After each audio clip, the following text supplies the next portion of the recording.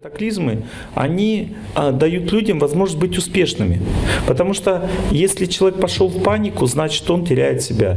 Если человек в это время в депрессняк ушел, он теряет себя. А если человек сохранил себя, значит он стартанул. Потому что после катаклизмов сразу те, кто сохранили себя, они становятся успешными. Потому что конкурировать не с кем. Все остальные повымирали.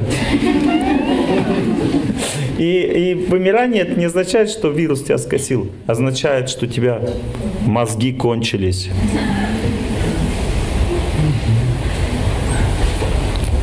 Знаете, почему все скупают туалетную бумагу? Я вам сейчас объясню.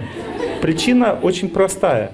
Как только первый случай коронавируса будет в России, все обо...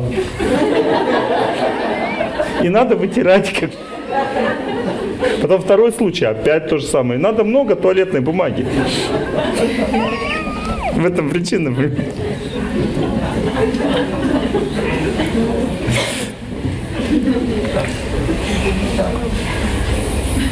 На самом деле вирус есть, есть. Убивает людей, убивает. Как относиться? Смеяться над этим? А он один президент страны посмеялся и, и заболел вирусом. И вся страна была против него, этого президента. Вирус тоже над ним посмеялся. Он посмеялся над вирусом, и вирус его скосил.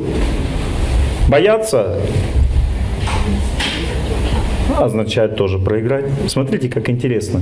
Не бояться означает проиграть, бояться означает проиграть. Вот и все. Вот эти две категории. Не бояться означает жизнь страсти или вера, вера в удачу. Да нафиг ничего не будет. Я, я как бы в самолете лечу, я имбирь жру, я маску не надеваю, потому что в ней душно мне.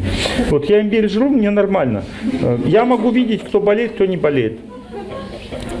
У вас нет здесь коронавируса, но разные вирусные инфекции есть. Вот у вас, допустим, только переболели вы. Да ладно, вот сейчас прям вирус есть, вы не знаете.